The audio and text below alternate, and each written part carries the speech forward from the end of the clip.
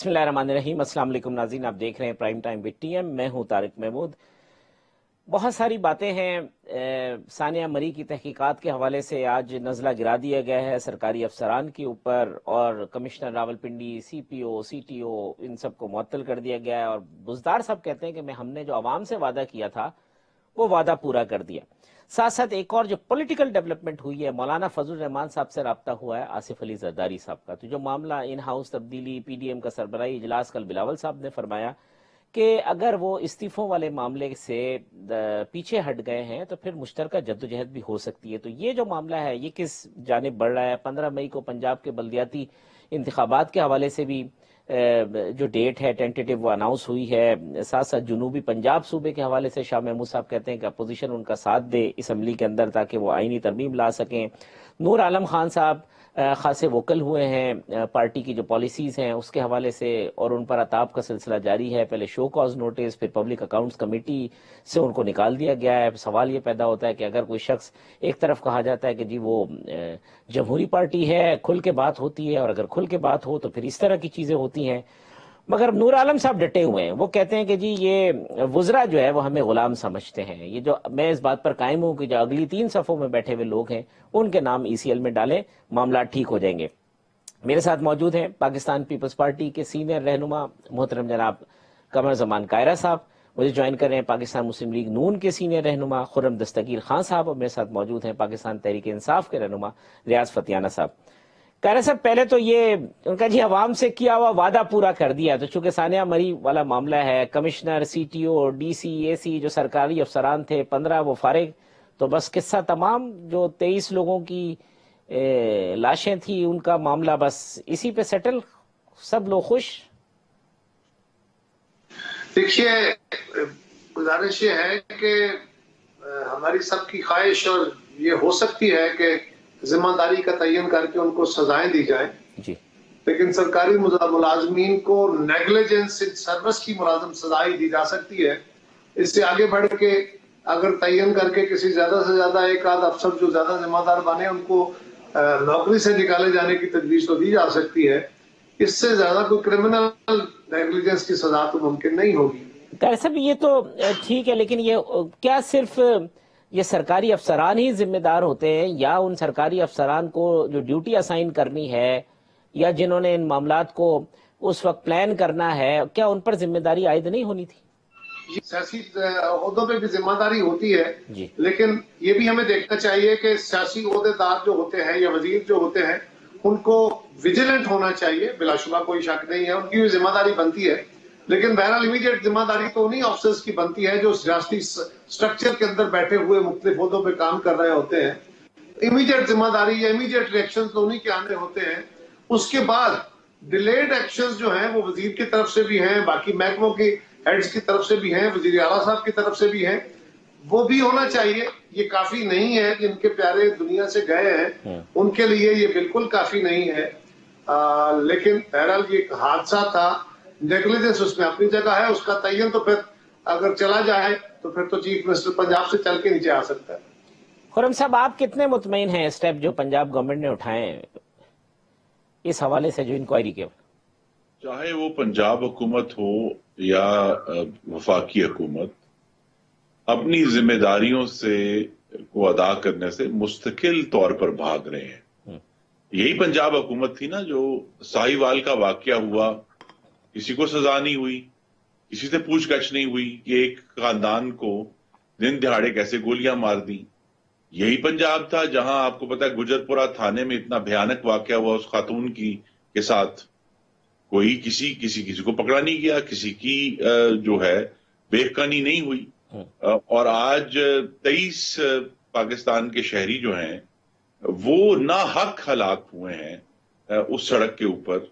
जो कि बहुत ही एक जान आबाद इलाका है तमाम रियासती इदारों की पहुँच में है उसमें इस तरह का वाक्य होना तो ये उन्होंने ज़रूर अफसरों के नाम हमले को लगा दिया है लेकिन अगर किसी का इस्तीफा बनता है तो वो उस्मान बुजदार का है क्योंकि ये वो पार्टी है अपने लिए आला अखलाकी मैार डिटर्मिन किया था इमरान खान साहब ने हम्म। कि जी कोरिया में कश्ती भी और अगरचे वज़ीर आज़म वो कश्ती नहीं चला रहा था लेकिन उस वज़ीर आज़म ने इस्तीफा दे दिया। हम्म। आपको मालूम है शेख रशीद साहब रेलवे के वज़ीर थे तो दो तो बहुत ही भयानक वाकयात हुए जिसमें सत्तर सत्तर लोग पाकिस्तान के शहीद हुए। उन्होंने कह दिया कि जी देखें ये तो इनकी अपनी गलती थी इन्होंने आग लगाई।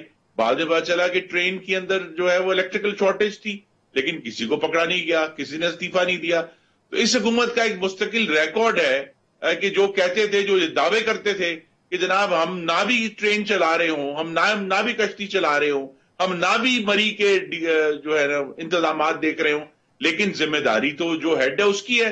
फिर जो हेड अगर जिम्मेदार है तो उस्मान बुजदार साहब को खुद इस्तीफा देना चाहिए। फतेहाना साहब ये जो जितनी चीज़ें आई हैं कई मशीनों में फ्यूल नहीं कहीं ऑपरेटर नहीं कोई प्लानिंग नहीं कोई मीटिंग नहीं फिर उसके बाद जो है ना ये सरकारी अफसरान पे नजला खत्म। तो इमरान खान साहब तो जो खुरम साहब हवाला दे रहे हैं वो कहते हैं कश्ती डूब जाए प्राइम मिनिस्टर रिजाइन कर देता है हादसा हो जाए वज़ीर रिजाइन कर देता है तो बनता नहीं है बुजदार साहब का इस्तीफा? जी मैं अपने दोस्तों से पूछता हूँ कायरा साहब से और खुरम दस्तगीर साहब से कितने पाकिस्तान में वजरा ने इस्तीफे दिए हैं इनकी हुकूमत में? कितने वो, तो, वो कहते हैं हम तो ठीक नहीं थे ना आपने कहा मेरा ख्याल है कि पहले इन्हें किसी पे बात करने से पहले इन्हें अपनी रवायात का कोई को मिसाल देनी चाहिए कि हमें भी अंदाज़ा हो कि माजी में इन्होंने एक कुर्बानी पेश की थी कौम की खतर। दूसरा ये कि हुकूमत का काम है पॉलिसी देना। सियासतदान हुकूमत बनाता है, पार्लियामेंट और हुकूमत, वो पॉलिसी देती है, अमल दरामद ब्यूरोक्रेसी करती है, एग्जेक्टिव करती है। और आपने देखा कि इसकी ज़िम्मेदारी एग्जेक्टिव पर ही थी और किसी हालाँकि हर सिविल अफसर के पीछे कोई ना कोई हाथ होता है लेकिन आपने देखा कि किसी हाथ को केयर नहीं की गई और बेलॉग सबको फारिग करके घर भेज दिया गया ना सिर्फ़ घर भेजा गया बल्कि मुतल किया गया और उनके खिलाफ प्रोसीडिंग एंड अपना डिसिप्लिन एंड एफिशिएंसी रूल्स वो भी साथ E and D rules start हो गई हैं हम्म। और मेरा ख्याल है कि एक स्ट्रॉन्ग मैसेज गया है इंतजामिया को कि अफसर बनने का मकसद ये नहीं है कि सिर्फ़ मराद से फ़ायदा उठाएँ बल्कि ये ये क्राइटेरिया ये कि आज तक पाकिस्तान में किसी वज़ीर ने इस्तीफा नहीं दिया तो इस वजह से हमारा इस्तीफा भी नहीं बनता। फिर बातें और फिर फ़र्क क्या रह गया आप में और इनमें देखें पहली बात ये कि ये मामला तो पहली बात मरी पंजाब के अंदर आता है वफाक के अंदर नहीं आता। ठीक है। नंबर टू उसमें ब्यूरोक्रेसी वज़ीर दाखिल है नहीं हमारा पंजाब का कोई भी। और इस दूसरे मानों में ये टूरिज़्म का मामला है या इंतजामिया का मामला है तो इंतजामिया के खिलाफ एक्शन हो गया है। और मेरा ख्याल है कि ये बड़ा सख्त एक्शन है। हुकूमत वजी अला साहब खुद भी वहाँ गए हैं। और मौके पे जा जाकर उन्होंने मीटिंग्स भी की हैं और भी हुकूमती अरकान गए हैं वहाँ पे। हमारे मुकामी रुकन असम्बली सदाकत अब्बासी साहब हैं, वो बाकायदा उस दिन मौके पे मौजूद थे सारा दिन। वहाँ उन्होंने पूरी कोशिश की है रेस्क्यू करने की, करवाने की लोगों से, इंतजामिया से। फौज के इदारे भी वहाँ पे मौजूद थे सारे जो काम कर सकते थे। तो मेरा ख्याल उस मौके पे सभी लोगों ने अपना परफॉर्म किया है। लेकिन बुनियादी ज़िम्मेदारी इंतजामिया की थी कि उन्हें चाहिए था कि जबकि डिप्टी कमिश्नर तलब कर सकता है फौज को भी तो फौज को वो तलब कर सकते थे। क्योंकि फौज जब तक उनको तलब न किया जाए सिविल इंतजामिया की मदद तो सब आपने करना था ना फतियाना साहब एडमिनिस्ट्रेशन ने करना था ना किसी और ने तो नहीं। मरी और रावलपिंडी और इस्लामाबाद के दरमियान का जो इलाका है ये कोई बलोचिस्तान तो नहीं है, ये तो बहुत ही इंटेंसली पॉपुलेटेड इलाका है, जहाँ तमाम रियासत के इदारे, तमाम हेलीकॉप्टर की पहुँच में हैं, लेकिन किसी ने कोई काम ही नहीं किया। कोई माफ़ी ही मांग लेंगे भाई नेशनल डिजास्टर मैनेजमेंट अथॉरिटी का जो हेडक्वार्टर है, वो भी मरी रोड पर है, जो रोड, सड़क मरी को जाती है, उस पर उनका हेडक्वार्टर है। किसी ने कुछ वो मूवमेंट नहीं की, और जो इक्विपमेंट जो बर्फ़ हटाने वाला जो पूरा सिस्टम था जो मुस्लिम लीग नून के दौर में हम बनाकर गए थे, मशीनें खरीद कर गए थे, उनमें तेल नहीं है, उनका चलाने वाला नहीं है। तो फिर ये बहुत बड़ी नाहली हुई है, जिसका जो असल इंसाफ है, वो चंद अफसरों को निकाल कर नहीं हो सकता। ठीक। कह साहब, ये आज खान साहब ने एक और बात की, इमरान खान साहब ने, वो उनका जी माजी के गलत फैसलों की वजह से ये सूरत हाल है। हमने जब रेवेन्यू का टारगेट कहा, आठ हज़ार लोग मज़ाक उड़ाते थे, अब रेमिटेंसेज बढ़ गई हैं रेवेन्यू हम छह हज़ार पे पहुँच गए आठ हज़ार कर देंगे मीशत ठीक है। वो अभी तक खान साहब ये खुद कन्विंस हैं या मतलब जो अपोजिशन है वो उन पे बेजा तनकीद कर रही है ये मामला है क्या? देखिए ना एक बात याद रखिए जो रेवेन्यू इंक्रीज करने का इशू है पीपल्स पार्टी की हुकूमत आती है 2008 में। ठीक। पाकिस्तान का रेवेन्यू है 1.1 ट्रिलियन 1100 अरब। हम जब जाते हैं तो दिस इज़ 2.12 ट्रिलियन यानी 2120 अरब तकरीबन डबल ऑलमोस्ट डबल हो गया था। डबल ही समझिए। 2120 अरब से मुस्लिम लीग ने लिया 3850 अरब पे लेके गए ऑलमोस्ट डबल करके पाँच सालों में गए। ठीक। खान साहब की साढ़े तीन साल की हुकूमत ने अभी तक चार हज़ार के आगे पीछे साढ़े चार हज़ार पे हैं। चार हज़ार के करीब तो मुस्लिम लीग ने छोड़ा था। ये तो दस परसेंट इंक्रीज नहीं कर सके अभी तक। उस उस फिगर से खुरम साहब ये जो अब चीज़ें हो रही हैं जैसे ट्रेड डेफिसिट बढ़ रहा है इम्पोर्ट बिल बढ़ रहा है ये सब चीज़ें होती हैं। एक फिगर ये आती हैं इकोनॉमी के हवाले से भी जो इनकी प्रिडिक्शंस थी जो वर्ल्ड बैंक की जो इकोनॉमिक रिपोर्ट है वो 3.4 के आसपास है। फिगर्स गवर्नमेंट की कुछ और हैं अपोजिशन की कुछ और है माशी माहरीन की कुछ और है। अवाम किस पे यकीन करें? नहीं देखिए हमें बतौर मुंतखब नुमाइंदे ज़िम्मेदारी से बात करनी है। ठीक। और पाकिस्तान के अवाम को ये समझ आनी चाहिए कि पाकिस्तान की मीशत के लिए जो असल चीज़ है वो अदायगियों का तोजुन है। हम्म। सिर्फ़ एक्सपोर्ट का नंबर दे देने से मामला हल नहीं होता। सिर्फ़ रेमिटेंस का नंबर दे देने से मामला हल नहीं होता। और असल बात यह है कि तवाजन क्या है? अब तोजन ये है कि हम रेमिटेंस डाल भी लें तो साल के पहले छह माह में दस अरब डॉलर का करंट अकाउंट डेफिसिट हो चुका है। ठीक। पंद्रह अरब की रफली एक्सपोर्ट्स हैं और पंद्रह अरब डॉलर की रफली रेमिटेंसेज हैं। इसका मतलब यह है कि ये जो थर्टी बिलियन डॉलर है उसके अगेंस्ट जो है ये पाकिस्तान के हालात बड़े खराब हो रहे हैं। तो बैलेंस ऑफ़ जो डेफिसिट है वो तो नहीं पूरा हो पा, हो पा रहा ना जी। कि अगर पच्चीस अरब का ट्रेड डेफिसिट है उसमें से आप पंद्रह निकाल भी दें तो दस फिर भी करंट तो करंट अकाउंट डेफिसिट भी एक रिकॉर्ड सतह पर होने जा रहा है जून में बीस अरब डॉलर का। तो असल जो नंबर है वो तो करंट अकाउंट डेफिसिट का नंबर है ना जिसके ऊपर ये बड़ा शोर डालते थे कि पाकिस्तान की करेंसी जो है वो किसी के कंट्रोल में नहीं। पाकिस्तान की जो इस वक्त महँगाई है चाहे वो गरीबों के लिए महँगाई है सेंसिटिव प्राइस इंडेक्स है चाहे ओवरऑल महँगाई है वो कंट्रोल में नहीं है। और अभी इस हुकूमत ने आपको मालूम है कि चार दिन पहले पाकिस्तान की रियासत का जो मालियाती पॉलिसी का बाजू था वो अपने आप से काट कर खूनम खून करके स्टेट बैंक के हवाले कर दिया कि जी मॉनेटरी पॉलिसी अब इंडिपेंडेंट हो गई है वो हमारे हाथ में नहीं है। तो जब कोई चीज़ कंट्रोल में नहीं है इंपोर्ट कंट्रोल में नहीं है आउट ऑफ़ कंट्रोल है महँगाई आउट ऑफ़ कंट्रोल है current account deficit out of control है तो ये कौन से शादियाने हैं जो तो शादियाने जितने भी बजा लें इमरान खान साहब मेरे आपके नाजरीन जो ये प्रोग्राम देख रहे हैं उनको अपने अपने घर पे जो करियाने का स्टोर या कोई ग्रोसरी स्टोर है अगर जाएँगे तो तमाम दावे जो हैं वो धर्म से नीचे गिर गिर जाएँगे जब साढ़े चार सौ रुपए किलो घी खरीदना पड़ेगा। जब एक सौ बीस रुपए किलो चीनी खरीदनी पड़ेगी जब नब्बे रुपए किलो आटा खरीदना पड़ेगा और जब घर वापस आएँगे तो अठतीस रुपए यूनिट बिजली का उनका इंतज़ार कर रहा होगा और चूल्हे में गैस नहीं होगी तो असल हकीकत ये है। फतियाना साहब आपके अदाद शुमार का क्या करें? जब स्टोर में जाएँ तो आटा घी घर में आए तो बिजली का बिल पानी गैस नहीं कुछ नहीं वो आपके अदाद शुमार लेके कहाँ जाए? किस जेब में रखें उसको? तारक साहब आपकी बात इस हद तक दुरुस्त है कि महँगाई तो हुई है और महँगाई की वजूहत भी आप सब जानते हैं सभी हम तीनों जानते हैं जो आज पार्टिसिपेंट्स हैं। कि कोरोना की वजह से पूरी दुनिया मुतासर हुई है सप्लाई और डिमांड की चेन में फ़र्क आया है और आबादी भी बढ़ी है और जिस बिना पे मार्केट्स में महँगाई हुई है इसमें दो राय नहीं है।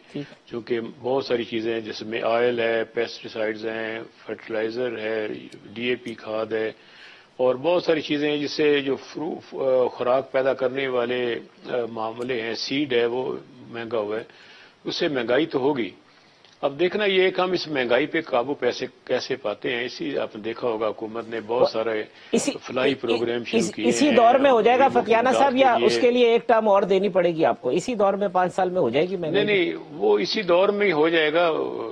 वैसे तो जो इमरान खान साहब आए थे वो दस साल के लिए आए थे। ये किसने ये किसने तय किया था तो दस साल से पहले तो प्रोजेक्ट मुकम्मल ही नहीं होता। इसलिए कि वो कौम से उन्होंने कौम उन्हें दस दस साल की लाइफ थी क्योंकि ये बाकी जो जमातें हैं वो दस दस बीस बीस साल भुगता चुकी हैं। तब इतना टाइम इनको भी मिलना चाहिए। फिर अंदाज़ा होगा कि किस जमात की क्या कारकर्दगी है। अच्छा तो मेरा ख्याल है कि इमरान खान साहब दस साल साल में तो पता नहीं चलता। दस साल मंसूबे के तहत आए थे कर लिया है नहीं बर्दाश्त करना चाहिए 2028 तक। उसके बाद फिर देखते हैं कि फिर फिर कारकर्दगी ज़्यादा लगेगा। फिर कौम तय करेगी दस 10-10 साल सबके निकालेंगे कि किसकी कारकर्दगी कितनी अच्छी थी या बुरी थी। तो मेरा ख्याल है कि अब वैसे भी आखिरी साल में आप देखेंगे कि महँगाई का असर भी कम होगा कुछ हुकूमत और मजीद सब्सिडी देगी। और पहले भी काफ़ी हमने इकदाम किए हैं और मेरा ख्याल है प्रोडक्शन पहले से बेहतर हुई है हमारी फ़सलों की। कह रहे साहब ये दस साल मनसूबे के तहत आए थे फतियाना साहब कहते हैं इंतज़ार करें पाँच साल फिर जरा जायजा होगा दस दस साल सबकी हुकूमत होगा। तो हम तो कहते ही ये थे ना कि लाए गए हैं। अब फतियाना साहब ने मान लिया है कि उनको दस साल की कोई गारंटी किसी ने दी। तो अर्ज़ ये है कि लाए नहीं गए अवाम अवाम में लेकर अल्लाह ताला और अवाम तो आपका व्यू है हम जो कहते थे फतेहाना साहब आप आपने वो मान लिया ना।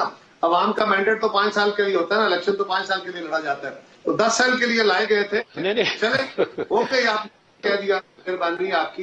लेकिन अर्ज़ ये है कि इससे हटके हाफिज साहब जी सर। मसला ये है कि खान साहब की हुकूमत के दौर में आटा महँगा हो गया। क्या इसके ऊपर कोई इम्पोर्ट का इशू है? ये बाहर से आया है आटा। चीनी महँगी हो गई क्या बाहर से आई है। पाकिस्तान में पिछले साल गंदम का जो रेट था उस पर प्रोक्योरमेंट हुई है।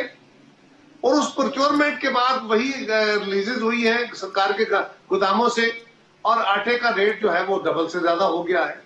चीनी का रेट डबल से ज़्यादा हो गया। इस साल की क्रशिंग कब शुरू हुई है? ये पिछले साल की चीनी और गवर्नमेंट कह रही थी कि हमारे पास सफिशियंट स्टॉक्स मौजूद है। ये इसी तरह है ना जिस तरह खाद बहुत है। बड़ी पैदा हुई है। रिकॉर्ड पिछले साल से ज़्यादा पैदा हुई है। खाद मिल नहीं रही है। हुकूमत कह रही है जी खाद अवेलेबल है। कहाँ अवेलेबल है? शायद चाँद पे अवेलेबल हो हम्म। शायद हिंदुस्तान में। और फिर कह रहे हैं कि जी हमारे मुल्क में सबसे सस्ती है। हिंदुस्तान में पाकिस्तानी रुपीज़ के मुताबिक सात आठ सौ रुपए के दरमियान गुजिया का बैग मिल रहा है। पता नहीं पाकिस्तान में कहाँ सस्ती है। अठारह सौ रुपए का बैग तो लोगों को मिल नहीं रहा।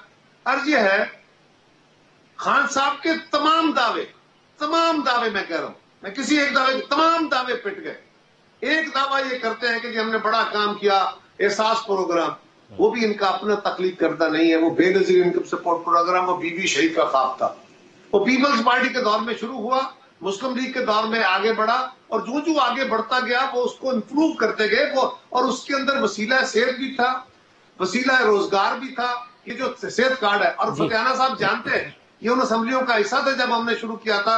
I was the founder chairman of that program so Hafiz sahab गुजारिश ये है। इनका तो एक बैनर हेडलाइन जो प्रोग्राम था वो अकाउंटेबिलिटी था। ठीक। आज सुना है मुझे नहीं पता ये how far this is true आज सुना है वज़ीर आज़म साहब ने अकाउंटेबिलिटी पे बहुत एतराज़ किया। वो बड़ी नाराज़गी का इलाज किया है वो ना ना खुश है। और सुना है कि वो अकाउंटेबिलिटी के मशीक को तब्दील करना चाहते हैं और उसके लिए कोई इंटरव्यू किया गया। या किसी चैनल ने मुझसे सवाल किया अभी थोड़ी देर पहले। अगर ऐसा है तो इसका मतलब है कि वज़ीर आज़म साहब अब अपने आखिरी प्रोग्राम सबसे बड़े प्रोग्राम पे उसके ऊपर भी बताएँ कि चार साल हो गए। पहले साल में आपको पता चल गया था कारकर्दगी क्या है क्या किया आपने।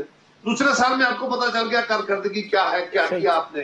तीसरे साल में आपने कहा कि जी प्रोसिक्यूशन बड़ी कमज़ोर है इसलिए सजाएँ नहीं हो रही। उसको इम्प्रूव करने के लिए क्या किया आपने? आप तीस तीस बिल एक हल्ले में रात के अंधेरे में बुलडोज करते हुए पास कराते हैं क्या नैब के कानून पास नहीं हो सकते थे? क्या किया आपने? आप चेयरमैन को एक्सटेंशन देने के कानून तो पास करा सकते हैं लेकिन नैब की परफॉर्मेंस बेहतर करने के जो इनके बकौल खराब है जो इनके बकौल प्रोसिक्यूशन की कैपेसिटी है जो इनके बकौल इन्वेस्टिगेशन कमज़ोर है उसको इम्प्रूव करने के लिए क्या किया?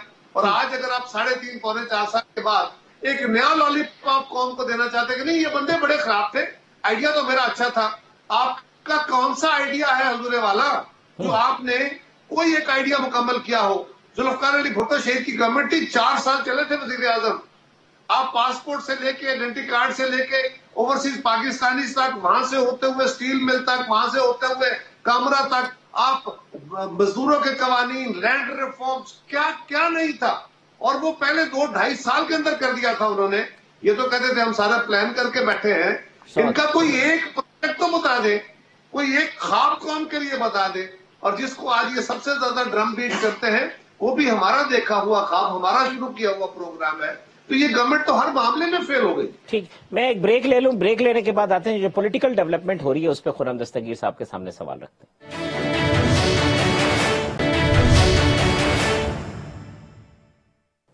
वेलकम बैक नाजिन। कायरा साहब, खुरम दस्तगीर साहब और फतियाना साहब मेरे मेहमान हैं। खुरम साहब, कल बिलावल साहब ने एक बयान दिया कि अगर वो इस्तीफ़ों वाले मामले से आप पीछे हट गए हैं तो फिर तो कोई जॉइंट जद्दोजहद हो सकती है। तो अब ये ये तय है कि इस्तीफ़ों वाले मामले से कुछ पीछे हुए हैं और अब इन हाउस के ऊपर आपकी पीपल्स पार्टी के साथ को बात हो रही है स्पेशली स्पीकर के खिलाफ कोई नो कॉन्फिडेंस वाले मामले के ऊपर। हमारा मकसद और जिसमें बिल्कुल मुतहद है, वो ये है कि जल्द अज जल्द पाकिस्तान में साफ़ शफाफ और गैर आइनी मुदाखलत से पाक इंतबात हों। ठीक। उसके रस्ते में अगर एक लॉन्ग मार्च या नो कॉन्फिडेंस मोशन बेहतर तरीका है तो हम उसके लिए तैयार हैं। अगर इस्तीफों का जो ऑप्शन है उसको रूल आउट नहीं किया जा सकता अगर वो हमारी मदद करे नए इंतबात कराने में लेकिन फ़िलहाल तो फोकस इसी पर है कि लॉन्ग मार्च की तैयारी की जाए और अगर उससे पहले एक नो कॉन्फिडेंस मोशन के ज़रिए चाहे वो स्पीकर के खिलाफ हो या वज़ीर आज़म के खिलाफ तो इस हुकूमत की जो बुनियादें हैं जो पहली खोखली हो चुकी हैं उनको एक धक्का देना मुनासिब होगा। कह रहे साहब मैं इससे पहले कि फतियाना साहब की तरफ़ जाऊँ जो खुरम साहब की बात है इस पर आप कमेंट करेंगे कि ये कोई कोई कोर एजेंडे के ऊपर अब कंसेंसस की तरफ़ बढ़ रही है पीपल्स पार्टी और नून लीग। आज मौलाना साहब से रबता भी हुआ है आसिफ जरदारी साहब का। देखिए पीपल्स पार्टी का ये मौकफ तो बहुत अरसे से है। जब हमने सेनेट का इलेक्शन जीता था, हमने उस वक्त भी ये गुजारिश की थी कि फौरी तौर पर हमें अदम अतमाद करना चाहिए, क्योंकि अदम अतमाद ही वो रास्ता है।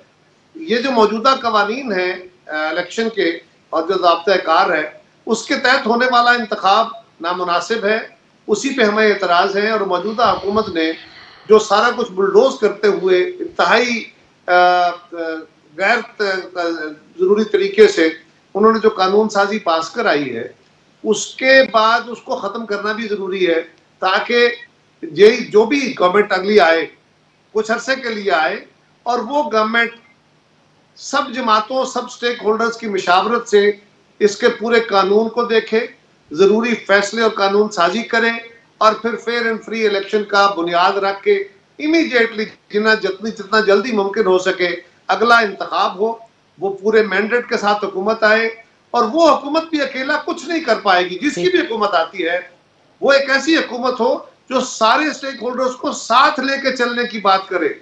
सबसे मशावरत करके इज्तमाही शौर के तहत इज्तमाही ओनरशिप के तहत जो फैसले किए जाए वो शायद पाकिस्तान को इस गर्दाब से निकाल सके जिसमें मौजूदा हुकूमत ने डाला ये कानून साजी जितनी हुई है कह रहे साहब ये वापस होगी आप समझते हैं?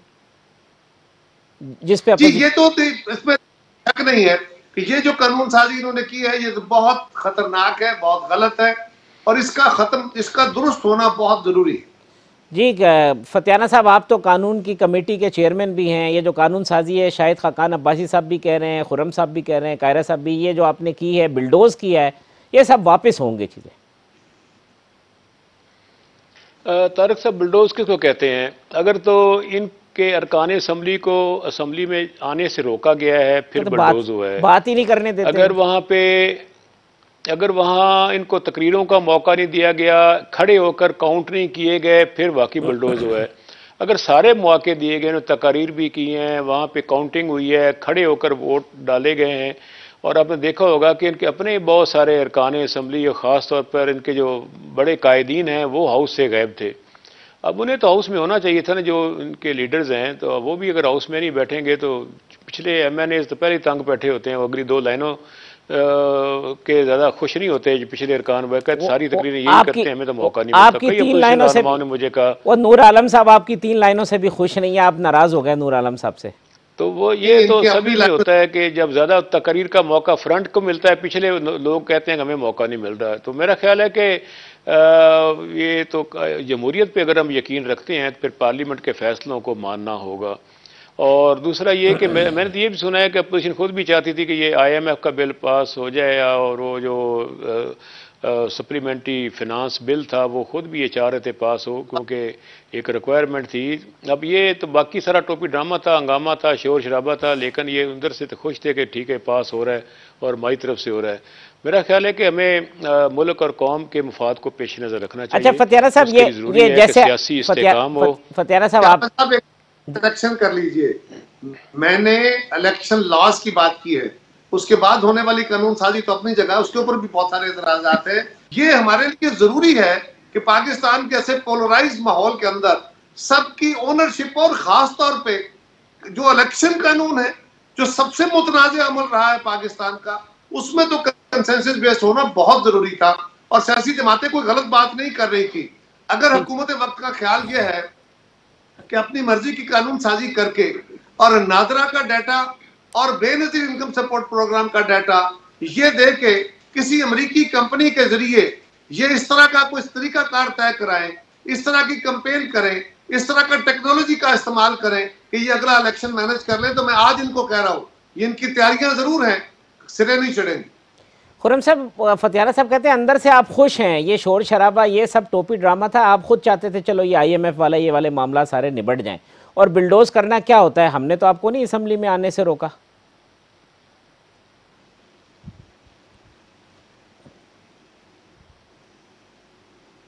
जी बुलडोज करने की मिसाल मैं ये देता हूँ कि इलेक्ट्रॉनिक वोटिंग मशीन जो कि इंतहाई एक हसास और अहम मामला था उस पर कौमी असम्बली ने पहले एक कानून पास किया एक उसका मतन था। सेनेट ने उसको मुस्तरद कर दिया लिहाजा वो जॉइंट सेशन में आया।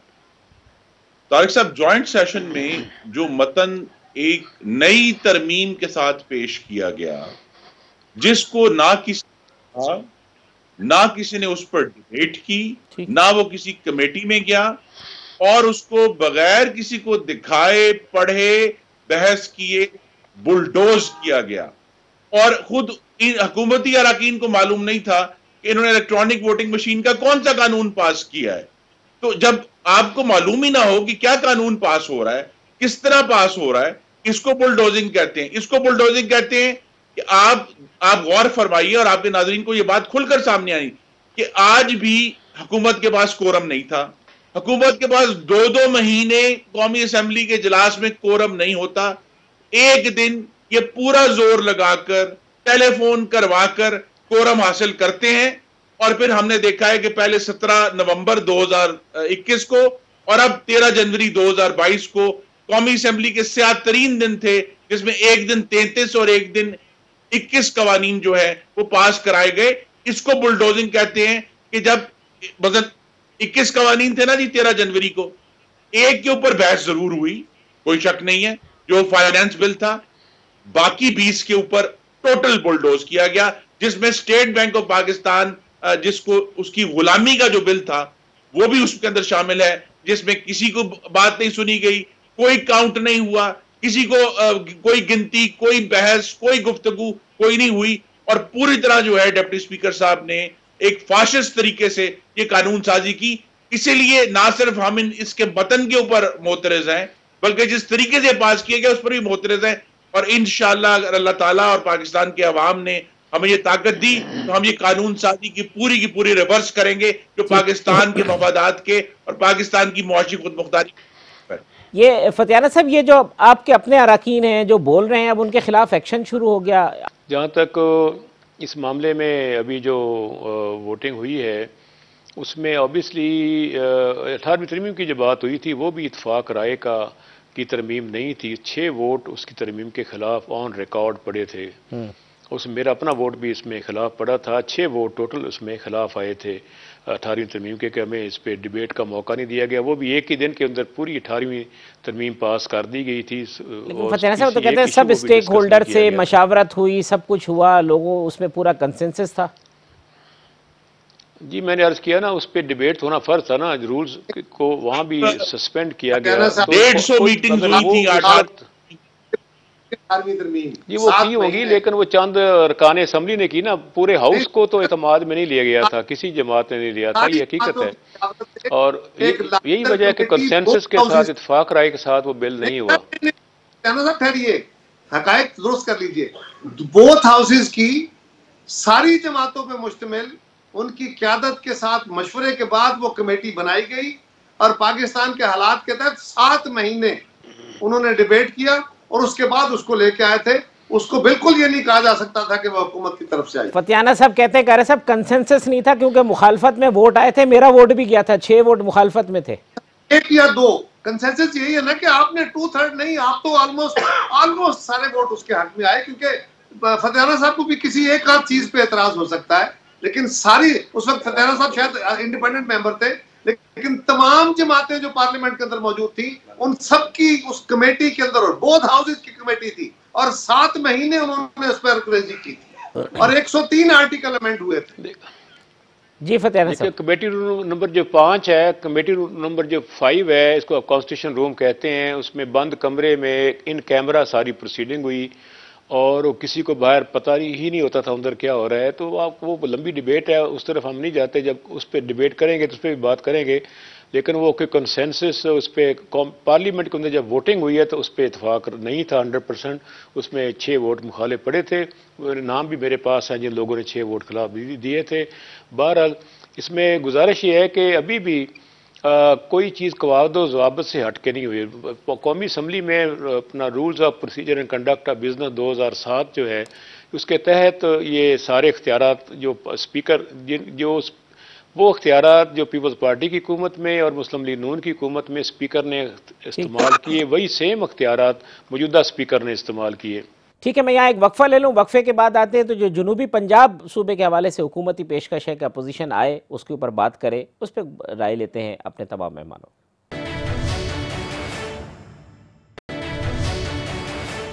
अच्छा कह रहे साहब शॉर्टली मुझे कमेंट कर दें, आज ये जनूबी पंजाब के ऊपर उन्होंने कहा जी कि साथ दें पीपल्स पार्टी मुस्लिम लीग, नून, सारी अपोजिशन जमातें, हम लाएँ और वो करें तो फिर आप साथ दे रहे हैं उसके ऊपर? कल सेनेट के इंतखाब में कल सेनेट के इलेक्शन जो था हाउस जी सर। उसमें शाह महमूद कुरैशी साहब के सवाल को रिस्पॉन्ड करते हुए यूसफ रजा गिलानी साहब ने जो लीडर ऑफ़ द अपोजिशन है उन्होंने अपोजिशन की तरफ़ से उन्हें ये बात कही थी कि जनाब हम तो दो तिहाई अक्सरियत से अपने दौर में सेनेट से ये बिल पास करा चुके। हमें सिर्फ़ सेक्रेटेरिएट नहीं चाहिए हमें सूबा चाहिए। और अगर आप उस पर संजीदा हैं उस पर सिर्फ़ डिफ्लेक्शन नहीं कर रहे। यानी जो जो आपने महँगाई का तूफ़ान लेके आए हैं, ये जो आपने स्टेट बैंक को सरेंडर कर दिया है, उसकी ऑटोनॉमी को, ये सारा कुछ इसके ऊपर डिबेट आप नहीं करने दे रहे लोगों को। मीडिया को आपने डिफ्लेक्ट कर दिया, कभी चार मेंबर मुस्लिम लीग के मिलने चले गए, कभी किसका हाथ किसकी गर्दन और किसके सर पे है, ये डिबेट करा के आप उधर ले गए। तो गिलानी साहब ने कहा कि अगर आप संजीदा हैं तो फिर आप आइए हमारे साथ बैठ के बात कीजिए। अब उनको ये जवाब देना एक ट्वीट के ज़रिए कि आए जी अपोजिशन आए हमारे साथ बैठ के बात करें। क्या डी चौक में बैठ के बात करनी है? हम्म। क्या फवारा चौक में बैठ के बात करनी है? हम्म। गवर्नमेंट का काम यह है कि वो अपोजिशन की जमातों से अप्रोच करे। शाह महमूद कुरैशी साहब कर लें लीडर ऑफ़ द अपोजिशन से कर लें बाकी मेम्बरान से कर लें और उनसे या बाकी जमातों की क्यादत से कर लें। वहाँ उनके पार्लियामेंट्री जो लोग बैठे उनसे करें। और इस पे कोई दूसरी राय नहीं।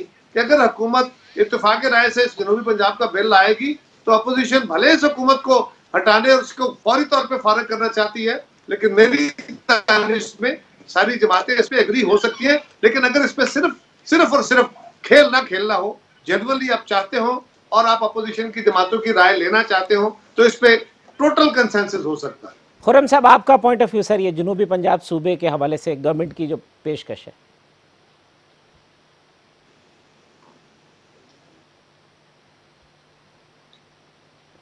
जी हुकूमत आवाम की तवज्जो अभी चार रुपये लीटर पेट्रोल बढ़ा है। चार रुपये फ़ी यूनिट चार रुपये सत्तर पैसे गालिबन फ़ी यूनिट बिजली की कीमत बढ़ी है। और इस वक्त सेंसिटिव प्राइस इंडेक्स जो है गरीबों के लिए महँगाई की शरह बाईस फ़ीसद है। इससे तवज्जो हटाने के लिए मुस्तकिल अब आप गौर करें हर रोज़ एक नया गुब्बारा हमें उड़ाते हैं कि उन गुब्बारे का रंग देखकर हम सब और मीडिया उसके पीछे भागना शुरू कर दें और पाकिस्तान की जो मीशत की तबाही हुई है उसको भूल जाएँ। हम ये भी भूल जाएँ कि पाकिस्तान की खारजा पॉलिसी का कितना बड़ा इनादाम हुआ है जो कि अभी सिक्योरिटी पॉलिसी बना के मजीद वाजे हो गया है अपनी कमज़ोरी को हुकूमत ने पूरी दुनिया पर अयाक कर दिया है। तो असल इनका मकसद ये इन तमाम पॉलिसी एक्शंस का वो यही है कि मीडिया की और आवाम की तवज्जो हटाई जाए हमारे दरवाजे हमेशा खुले हैं हम कमिटेड हैं जनूबी पंजाब के लिए। अगर वो संजीदा गुफ्तगु करें लेकिन ये हुकूमत सिर्फ़ तवज्जो हटाने के लिए इस तरह की शोशे छोड़ती है तो इनकी किसी बात पर तो हम एतबार करने के लिए तैयार नहीं है। अगर संजीदा है तो फिर संजीदा लोगों को अपोजिशन की जमातों के पास भेजें उनसे संजीदा गुफ्तगु करें। पंजाब असेंबली में भी ये बिल पास होना है वहाँ भी पूरी संजीदगी दिखाएँ। अभी तक यारी कोई नहीं है गुफ्तगु कोई नहीं है अप्रोच कोई नहीं है सिर्फ़ गुब्बारा चले हमने उड़ा दिया है। हम उसको रिजेक्ट दो, दो, दोनों की एक ही बात है फतेहाना साहब लास्ट कमेंट से प्रोग्राम कंक्लूड करूँ। कहते हैं संजीदा बात करें तो हम जो चीज़ मुल्क के मफाद में होगी हम हाजिर हैं उसके लिए। जी बहुत मेहरबानी। मैं अप्रिशिएट करता हूँ दोनों अपोजिशन रहनुमाओं की इस बात को कि वो तैयार हैं मज़ाक के लिए। बिल्कुल हम तो पहले ही तैयार हैं क्योंकि मुल्क कौम और आ, के लिए ट्वीट पे नहीं होंगे ना फतियाना साहब ट्वीट पे तो मुजाकरात नहीं होंगे ना ना डी चौक पे होंगे। नहीं नहीं वो तो एक उन्होंने आगाज़ किया है तो मेरा ख्याल एक टॉपिक छेड़ा है और बिल्कुल अभी हमें चाहिए कि मुश्तर कमेटी बनाई जाए मजाकरात किए जाए साउथ पंजाब सेक्रेटेरिएट हमने बना दिया है अफसर वहाँ तैनात कर दिए हैं। सारे मामला तब लाहौर नहीं आ रहे बल्कि मुल्तान और बावलपुर जा रहे हैं। तो मेरा ख्याल एक शुरुआत हुई है ना काफ़ी मुस्बत इकदाम हुए हैं।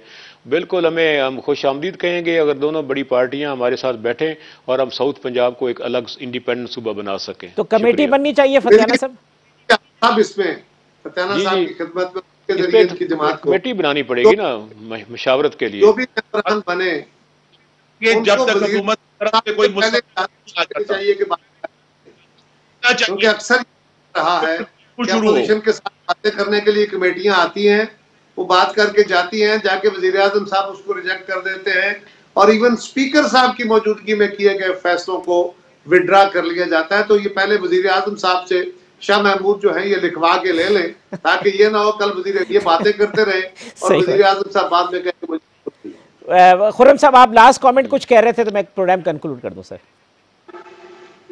जी मैं सिर्फ़ ये कह रहा हूँ कि अगर हुकूमत संजीदा है देखिए आईनी तरामीम होनी है। पंजाब असेंबली में बिल आना है। उनका मुजवदा मुसवदा मतन जो है वो टेक्स्ट लेकर आए उस पर संजीदगी होगी उस पर गुफ्तगु होगी। इस तरह हवा में अजरा क्रम सोशल मीडिया के ज़रिए नए सूबे बनाने की गुफ्तगु बंद करें। खुरम साहब, बहुत शुक्रिया। कायरा साहब, रियाज फतेहाना साहब, तमाम मेहमानों का बहुत शुक्रिया। कल इसी प्रोग्राम में इंशाल्लाह इसी वक्त दोबारा मुलाकात होगी। अल्लाह हाफिज़।